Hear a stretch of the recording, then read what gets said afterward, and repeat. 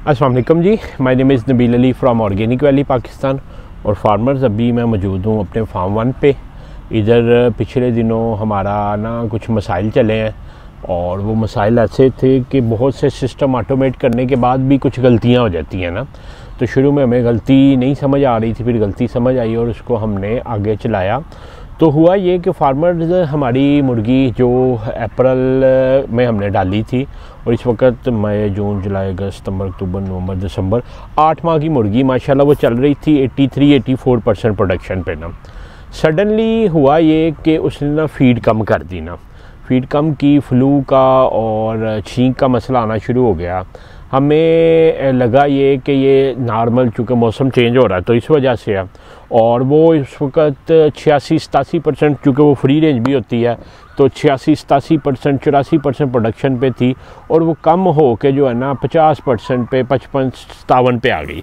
और जो दवाई चला रहे थे, दवाई भी काम नहीं कर रही थी। तो शुरू में जब बलाल साहब से मैंने पूछा बलाल साहब अभी कैमरे के पीछे हैं तो बलाल साहब ने कहा कि सर मुझे लगता ये है कि दरवाजे और तरपालें कुछ लूज़ रह गई हैं जिस वजह से ना जानवर को ठंड लग गई आसार ठंड ही के थे। तो जानवर छींक भी मार रहा था और फ्लू का भी बलाल साहब मसला था।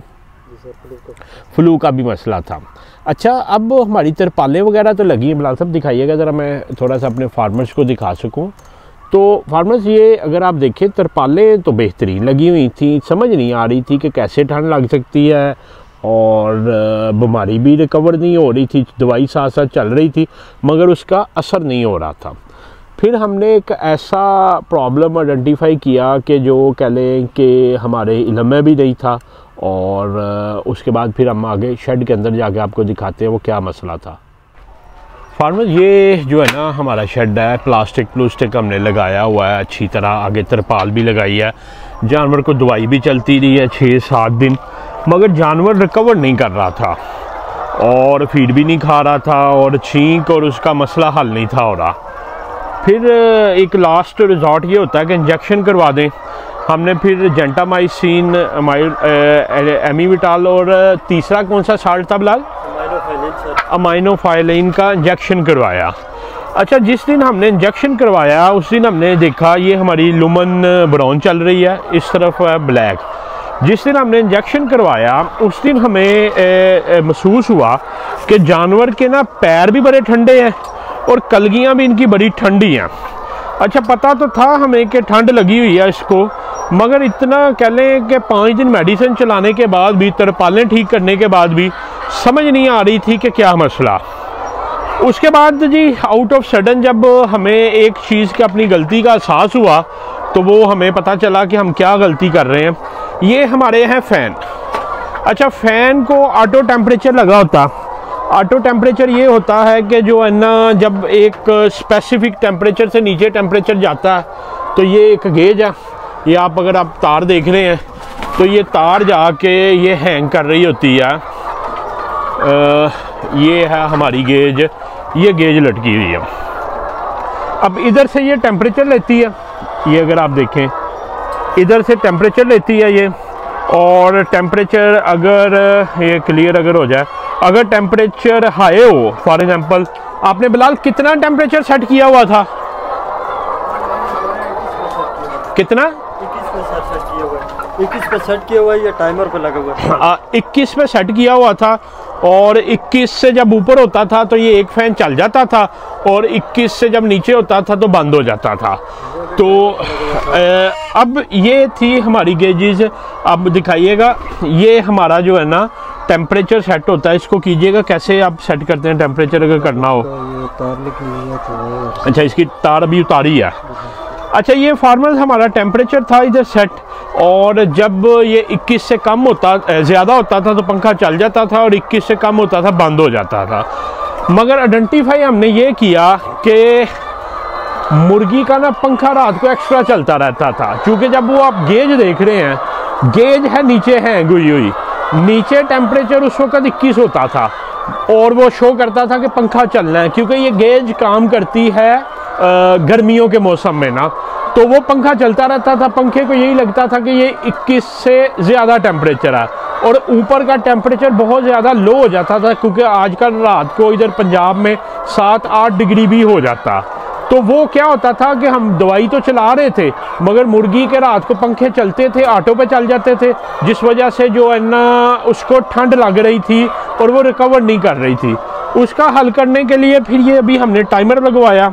ये कंट्रोल फार्म में बहुत ज़रूरी होते हैं। हमने मिस कर दिए थे दोबारा। वही बात कि हमारा चूँकि सेमी कंट्रोल था तो हमने अब ये टाइमर लगवाया। अभी ये बिलाल साहब कितने 12 मिनट बाद 10 सेकंड चलेगा? सर ये 12 मिनट के बाद 10 सेकंड सर ये चलता है। टाइमर को तो लगाया हुआ सर ये। जी। अभी के वक्त सर ये 8 मिनट के बाद सर जी जो है 30 35 सेकंड पर लगाया हुआ है। रात को जो है सर जी 12 सेकंड पर लगाया हुआ है। 12 मिनट के बाद सर जी 13 मिनट के बाद। जी, फार्मर बिलाल साहब कह रहे हैं कि दिन के वक्त आठ मिनट, अब ये टाइमर लगा दिया है। टाइमर क्या करेगा? आठ मिनट बंद रहेगा पंखा और पैंतीस सेकंड चलेगा, ठीक है? हर आठ मिनट बाद पैंतीस सेकंड ये चलेगा। और रात के वक्त ये बारह मिनट बंद रहेगा पंखा और दस सेकंड चलेगा। दस सेकंड चलेगा ताकि ये अमोनिया गैस को बाहर निकालते रहे और हम अपना जो है ना मैनेज कर सकें। दोबारा फार्मर्स ये जो प्रॉब्लम है, ये भी एक सेमी कंट्रोल शेड का है। यही अगर कंट्रोल शेड होता और इधर एयर इनलेट लगे होते तो पंखा अगर चलता भी रहता तो वो एयर इनलेट से हवा लेता और टेम्परेचर को मैनेज कर देता पूरे हाउस में, इस तरह घूम के हवा आती ना। मगर चूँकि हमारा सेमी कंट्रोल शेड है और सेमी कंट्रोल शेड में, हमने मेक शिफ्ट अरेंजमेंट्स किए हैं, जिस वजह से ये प्रॉब्लम आया और इसको हमने पिछले दो हफ़्ते काफ़ी ज़्यादा सफ़र किया बर्दाश्त किया। तो अभी हमने ये टाइमर लगवा लिया। तो ये एक अच्छी चीज़ है चार हज़ार रुपये का ये लगा और मेरा ख्याल हज़ार पंद्रह सौ रुपये वो आपसे मजदूरी लेगा और इसमें सारी बुला लिए इसको ऊपर से उतार के सेट करेंगे। सर ऊपर से उतार के सर ये इसकी सेटिंग है सर जी। ये इसकी सेटिंग हो जाती है। सर ये अभी देखें ये अभी आठ मिनट जो है सर ये मिनट ऊपर सारी चीज़ डिटेल है सर जी इसको जी जी। एम से मिनट आता है सर। अगर घंटे पे लगाना है तो एच आता है आर्स आता है सर जी। हाँ। अगर इसे सेकंड पे सेकंड में लगाना है तो एस आएगा सर जी। इसी तरह सर जी ये सारे स्टेप हैं इसके। सारी वैल्यूज़ हैं जी। सारी ये देखें अभी बिलाल साहब इसको सेट करते हैं कि ये मिनट है। आठ मिनट है। आठ मिनट के बाद तेईस सेकंड चलेगा। ये सेट किया हुआ सर जी। आप कीजिएगा इसको घंटे अभी मिनट्स पे रखा हुआ आपने। अभी सर मैं इसको आपको दोबारा बताता हूँ सर जी। ये अभी ज़ीरो इसके मिनट है सर जी। अभी ये इसको मैं लगाता हूँ दो मिनट दो मिनट दो पे? मिनट के बाद ये तेईस सेकंड तेईस सेकंड चलेगा। अब आप दोबारा जो है आपके सामने सर ये ये ये जी इन्होंने कर दिया। इन्होंने इसकी वैल्यू सेट की है। कि दो मिनट के बाद तेईस सेकंड चलना चाहिए। तो पूरे होने के बाद तेईस सेकंड और इधर से इन्होंने इसको सेट कर दिया। अब दो मिनट के बाद ये तेईस सेकंड चलेगा जिससे ये सारी जो है ना गैस बाहर फेंक देगा। तो फार्मर्स ये था एक प्रॉब्लम जो हमने फेस किया और इसका हमने काफ़ी ज़्यादा मतलब एक साइकोलॉजिकली भी पे किया और मुर्गी ने हेल्थ वाइज पे किया। तो मैंने कहा ये भी प्रॉब्लम हम आपसे डिस्कस करें। कि इस तरह के मसाइल भी हो जाते हैं कि प्रॉब्लम ऑटो या सेमी कंट्रोल में भी ट्रैक नहीं हो रहा होता। ये जी काउंटडाउन चल रहा है। ये काउंटडाउन चल रहा है फार्मर्स अभी ये दो मिनट बाद चलना है। वो बता रहा है कि एक मिनट रह गया इसका चलने में। तो जैसे ही ये टाइमर पूरा होगा तो ये जो है ना, चल जाएगा।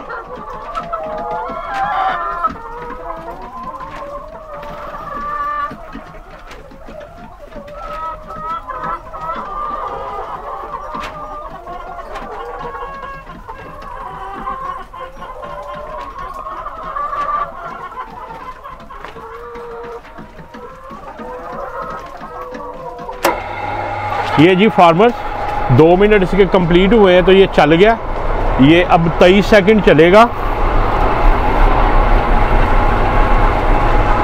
और तेईस सेकंड चलने के बाद जो है ना, ये ऑटो इस वक्त मैं महसूस कर रहा हूँ कि काफ़ी पीछे से जो है ना हवा आ रही है और ये अमोनिया को बाहर फेंक रहा है और ये तेईस सेकंड बाद बंद हो गया। अच्छा फार्मर एक और इन्होंने चीज़ जो की है, वो ये की है कि पंखे के नीचे लगा दिया प्लास्टिक। प्लास्टिक इस वजह से लगाया है कि सिर्फ़ ऊपर से ये अमोनिया गैस को निकाले, नीचे से रात को जब ठंड होती है तो मुर्गी को डायरेक्ट हवा ना लगे। तो ये सिर्फ़ इधर से बाहर फेंक रहा और बाकी नहीं फेंक रहा। तो मैं उम्मीद करता हूँ कि इस चीज़ से आपको कुछ सीखने को मिला होगा। मैं अगर रोशनी में आ जाऊँ। बाकी आपका भी अगर कोई सवाल हो तो नीचे दिए गए number zero three hundred nine six four one nine nine zero पर आप जो है ना व्हाट्सएप करें। नबील अली को फार्म वन से इजाज़त दें। अल्लाह हाफिज़।